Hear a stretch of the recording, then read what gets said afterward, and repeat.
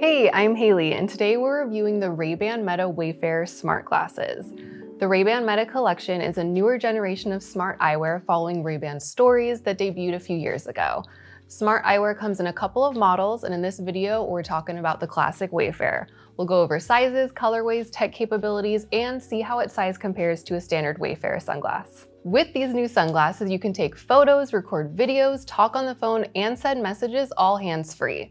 The camera and audio quality is pretty amazing on these. It's got a 12 megapixel ultra wide camera that shoots videos in 1080p. And if you like to create videos and share content, you'll be very pleased with the sound. There are five microphones located throughout the sunglass that make for crisp spatial audio when you play back your videos. And for listening, there's two open ear audio speakers on the temples right here in the back that provide pretty stellar sound. I'm a big music listener. I take my Spotify playlist very seriously, so I tested out the Spotify tap integration and was really impressed with the audio, given the speakers aren't actually in your ears like AirPods. And it's really easy to control the playback and volume with the Temple touchpad right over here when you're on the go so you don't have to mess around with your phone. Another really cool feature on these glasses is you can live stream directly to Facebook and Instagram, and you can even swap between your phone camera point of view and your glasses camera point of view during the live stream. And finally, the topic everyone in the tech industry has been talking about lately, AI. These glasses feature an integrated AI assistant, Meta AI. So when you're out and about and you need a question answered, you simply just say, hey Meta, followed by your question, and it will respond to you via the Temple speakers. If you want more in-depth info on the smart glasses tech specs and how to use them, you can check out our Ray-Ban Meta Tech Overview video where TJ and I test out the glasses and talk about how they work. You can also read our blog, The Complete Guide to Ray-Ban Meta Smart Glasses, and the blog also features a chart that breaks down the tech specs between Meta glasses and the older Stories glasses if you're curious on how those compare. And Ray-Ban introduced some brand new colorways for the Meta collection that come in both matte and shiny finishes. Caramel, right over here, is one of the new colors. It's a light brown color that is slightly transparent, which transparent frames have been popular for a few years now, but these are extra cool because you can actually see the tech inside the frame.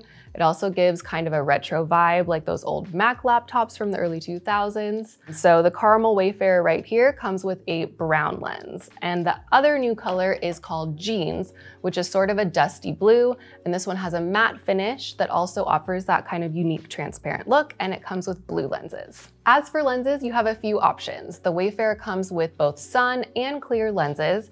You can opt for the classic black frame with G15 lenses, or you can get a black frame with clear lenses and a blue light filter.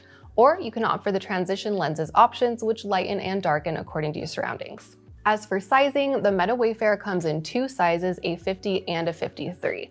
And if you're wondering if the tech makes these glasses extra bulky or heavier than a standard pair, they're actually pretty comparable. So I'll go ahead and try on the original Wayfarer in the size 50 millimeter, which I have right here.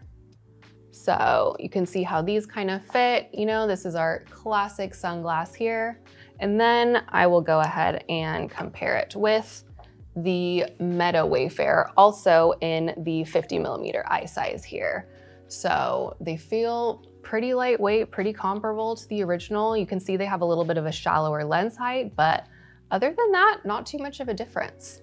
And finally, let's talk about the charging case, which is actually really nice. You can see here, it looks very similar to a standard Ray-Ban sunglasses case. It's not that much heavier or bulkier compared to the older Stories charging case. This is way slimmer if you had those. And you get a really good battery life with it too. So the glasses themselves last up to around four hours of continuous use and longer with moderate use.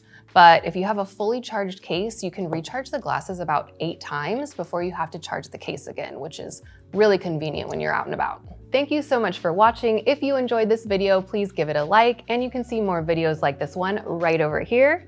And you can find links to the blog and the products in the description below. And let us know what you think about the new Meta Smart glasses in the comments and share any questions you may have. We're happy to help.